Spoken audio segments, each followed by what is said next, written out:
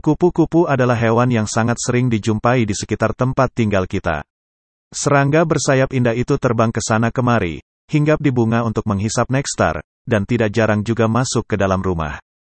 Nah, berdasarkan mitos yang hidup dan berkembang di dalam masyarakat kupu-kupu yang masuk ke dalam rumah adalah sebuah pertanda. Mitos kupu-kupu masuk rumah ini tidak hanya milik masyarakat tempo dulu. Masyarakat modern dengan segala kecanggihan teknologi saat ini juga masih mempercayai mitos tersebut.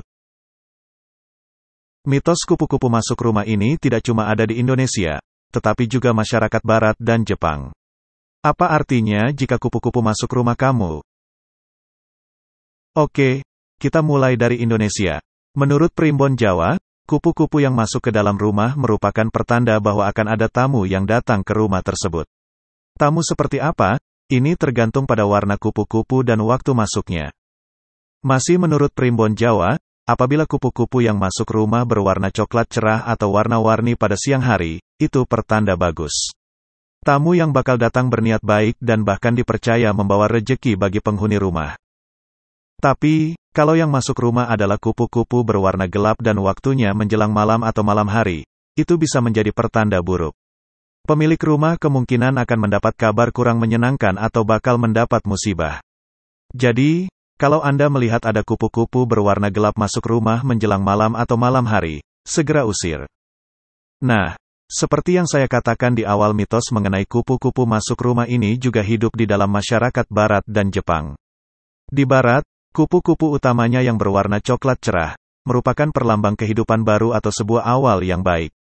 Masyarakat sana menilai kupu-kupu berwarna coklat atau warna-warni masuk rumah merupakan pertanda akan sebuah awal yang positif dalam hidup. Tapi, ada tapinya juga sobat. Masyarakat barat percaya kalau kupu-kupu coklat adalah hewan pertama yang terlihat di musim semi. Itu merupakan pertanda buruk bagi pemilik rumah. Masyarakat Jepang berbeda lagi. Masyarakat Jepang menganggap kupu-kupu sebagai hewan pembawa keberuntungan. Itulah mengapa banyak warga Jepang yang memelihara, merawat dan mengawetkan kupu-kupu yang memiliki sayap indah di rumahnya.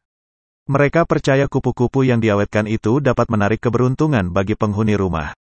Mereka juga sering meletakkan kupu-kupu di kantor atau tempat bekerja.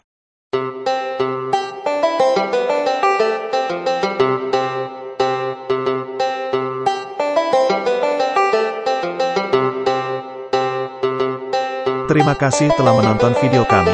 Bagi yang belum subscribe, Silakan tekan tombol subscribe sekarang dan bunyikan tanda loncengnya, jangan sampai ketinggalan video-video terbaru kami. Salam.